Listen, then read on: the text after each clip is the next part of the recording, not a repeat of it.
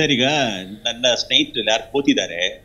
ಅವ್ರು ಕೇವಲ choosy ಸಬ್ಜೆಕ್ಟ್ಗಳು ತಗೊಳ್ತಿದ್ದಾರೆ. Choosy ಅಂದ್ರೆ ಆಯ್ಕೆ ಮಾಡ್ಕೊಳ್ತಕ್ಕಂಥ ಇಶ್ಯೂಗಳು ತಗೊಳ್ತಾರೆ. ಮಾಧ್ಯಮದಲ್ಲಿ ಬಂದಿರೋದು ಕೆಲವು ಕಡೆ ನ್ಯೂಸ್ ಬುಲೆಟಿನ್ ಆಗಿರೋದು. ಸಿ ಕರ್ನಾಟಕದಲ್ಲಿ ಮೂವತ್ತು ಜಿಲ್ಲೆಗಳಲ್ಲಿ ಈ ಆಯೋಗ ಇರೋದು ಬರೀ ಒಂದು ಹದಿನೈದು ಹದಿನಾರು ಜಿಲ್ಲೆಗಳಲ್ಲಿ ಮಾತ್ರ ಈ ಆಯೋಗ ಇದೆ. ಆಯ್ತಾ? ಪ್ರತಿ ರಾಜ್ಯಗಳಿಂದಲೂ ಕೂಡ ಆಯಾ ಆಯೋಗಗಳಿಂದ ವಜಗೊಂಡ ವಜಗೊಂಡಿರತಕ್ಕಂಥ ಕೇಸ್ಗಳದ್ದು ಒಂದು ದಾಖಲೆಗಳು ಸಿಗ್ತವೆ. ಇಲ್ಲಿ ಯಾವ ಕೇಸ್ ಅಪ್ಲಿಕೇಶನ್ ಹಾಕಿದ್ರು ಯಾವ ಕೇಸಿಗೆ ಆರ್ಡರ್ ಆಯಿತು ಯಾವ ಕೇಸಿಗೆ ಅದು ವಜಾ ಮಾಡಿದ್ರು ಏನಕ್ಕೆ ವಜಾ ಮಾಡಿದ್ರು ಅಂತ ಹೇಳಿ ಸಮಯ ನಮಗೆ ಟೋಟಲಿ ಒಂದು ಡಾಕ್ಯುಮೆಂಟ್ಸ್ ನಮಗೆ ದೊರೆಯುತ್ತೆ. ಇಲ್ಲಿಂದ ಅವ್ರ ಇಲಾಖೆ ವತಿಯಿಂದ. ಅದೇ ಥರ ಅದೇ ಥರ ಬೇರೆ ಬೇರೆ ಇಲಾಖೆಗಳಿಂದ ನಮ್ಮ ಈ ಸಮುದಾಯಕ್ಕೆ ಇರ್ತಕ್ಕಂಥ ಫಂಡಿಂಗ್ ಕೂಡ ಅದು ಔಟ್ಲೇಟ್ ಮಾಡುತ್ತೆ ಅದನ್ನು. ಅದ್ರ ಕೂಡ ಮಾಹಿತಿ ಸಿಗುತ್ತೆ ನಮಗೆ. ನನ್ನ ಪ್ರಶ್ನೆ ಇಷ್ಟ ಅಲ್ಲಿ ಕೂತಿರತಕ್ಕಂಥ ನನ್ನ ಸ್ನೇಹಿತರಿಗೆ. ಯಾವ ದಲಿತ ಸಂಘಟನೆ ಯಾವ ಒಂದು ಸಘೋಷ ಸ್ವಯಂ ಘೋಷಿತ ದಲಿತ ಸಂಘಟನೆಗಳು ಆಗಲಿ ಅಥವಾ ವ್ಯಕ್ತಿಗಳಾಗಲಿ ಈ ದಲಿತರ ಪರವಾಗಿ ಕಾನೂನು ಮುಖಾಂತರ ವಕೀಲರ ಮುಖಾಂತರ ಎಲ್ಲ ನಮ್ಮ ಹರಿರಾಮ್ ಬಿಟ್ರೆ ಮಿಕ್ಕಿದ್ದಾರೆ. ಎಲ್ಲರೂ ನನ್ನ ಹೆಸರು ಕೇಳೇ ಇಲ್ಲ. ಹರಿರಾಮ ಬಹಳಷ್ಟು ಕಡೆ ಹೋರಾಟಗಳಲ್ಲಿ ಅವರು ಭಾಗಿಯಾದರು. ಬಹಳಷ್ಟು ಕಡೆ ಅವರು ಆ ಇವರಿಗೆ ಕಾನೂನು ನೆರವಿಗೆ ಅವರು ಧಾವಿಸಿದ್ರು. ಮಿಕ್ಕಿದವ್ರು ಯಾರು ನಾನು ಕೇಳೇ ಇಲ್ಲ. ಇದೊಂದು ಇಲ್ಲಿ ಅಲ್ಲಿ ಕೂತಿರ್ತಕ್ಕಂಥವ್ರು ಅವ್ರ ಬಗ್ಗೆ ನಾನು ಮಾತಾಡ್ತಿಲ್ಲ. ಯಾವುದೇ ಒಂದು ಸ್ವಯಂ ಘೋಷಿತ ದಲಿತ ಸಂಘಟನೆಗಳು ಎಲ್ಲೂ ಕೂಡ ಈ ಈ ಸಮುದಾಯದ ಬಗ್ಗೆ ಉಸಿರೇ ಎತ್ತಲಿಲ್ಲ ಹೌದು. ಉಸಿರೇ ಎತ್ತುತ್ತಾ ಇಲ್ವಲ್ಲ? ಸರ್ ಈಗ ಹತ್ತತ್ರ ಒಂದು ಸಾವಿರದ ನಾವು ಎರಡ್ ಸಾವಿರದ ಇನ್ನೂರ ಐವತ್ತು ಕೋಟಿ ದುಡ್ಡಿದೆ. ಬೇರೆ ಬೇರೆ ಇಲಾಖೆಗಳಿಗೆ ಈ ಸಮುದಾಯಕ್ಕೆ ಇತ್ತ ದುಡ್ಡ.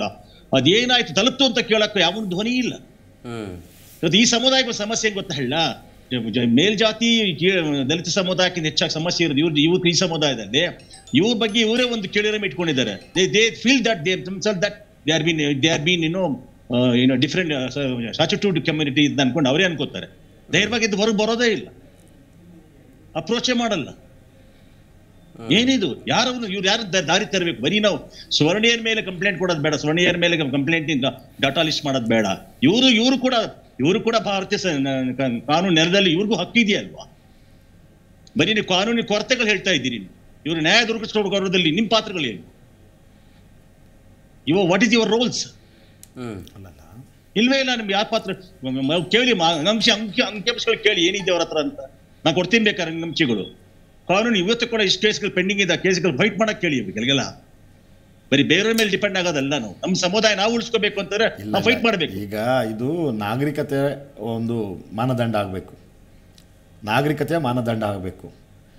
ಎಲ್ಲ ಕೀ ಪೋಸ್ಟ್ಗಳಲ್ಲಿ ಮನುವಾದಿಗಳು ಕುತ್ಕೊಂಡ್ಬಿಟ್ಟು ನೀವು ಕೇಳಬೇಕಾಗಿತ್ತು ನೀವು ಫೈಟ್ ಮಾಡಬೇಕಾಗಿತ್ತು ಅಂತ ಹೇಳಿದ್ರೆ ಈಗ ನಮ್ಮ ಹರಿರಾಮ ಅಂತ ನೂರು ಜನ ಹೋಗಿ ಫೈಟ್ ಮಾಡ್ತಾರೆ? ಬಟ್ ತೀರ್ಪು ಕೊಡೋ ಜಾಗದಲ್ಲಿ ನಮ್ಮವ್ರಿಲ್ವಲ್ಲ ರಮೇಶ್ ಅವರಲ್ಲ ಯಾರು ಅಲ್ಲ, ಅಲ್ಲ ಅಲ್ಲ, ಒಂದ್ ನಿಮಿಷ ಒಂದ್ ನಿಮಿಷ. ನಾನು ಮನೆ ಕಶ್ಯಪ್ ಅವ್ರಿಗೆ ಹೇಳ್ತೀನಿ.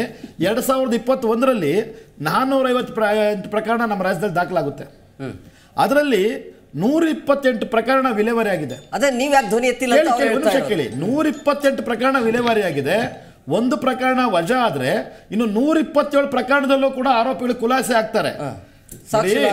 ನೋಡಿ ನಾವು ವಾದಗಳು ಮಾಡ್ತಾನೆ ಇದೀವಿ. ವಾದಗಳು ಮಾಡ್ತಾನೆ ಇದ್ದೀವಿ ಈಗ ಹರಿರಾಮ್ ಅಂತವರು ಪ್ರಾಮಾಣಿಕರು ದಿನನಿತ್ಯ ವಾದ ಮಾಡ್ತಾನೆ ಇದ್ದಾರೆ. ಆದರೆ ತೀರ್ಪು ಕೊಡೋ ಜಾಗದಲ್ಲಿ ನಾವಿಲ್ವಲ್ಲ? ಸುಪ್ರೀಂ ಕೋರ್ಟ್ನ ಅಷ್ಟು ಜ ಮಾನ್ಯ ಗ- ಘನವೆತ್ತ ನ್ಯಾಯಮೂರ್ತಿಗಳ ಪೈಕಿ ಒಬ್ಬರೇ ಒಬ್ಬರು ಎಸ್ ಸಿ ಎಸ್ ಟಿಗಳಿಲ್ಲ. ಇದು ಈ ದೇಶದ ವ್ಯವಸ್ಥೆ.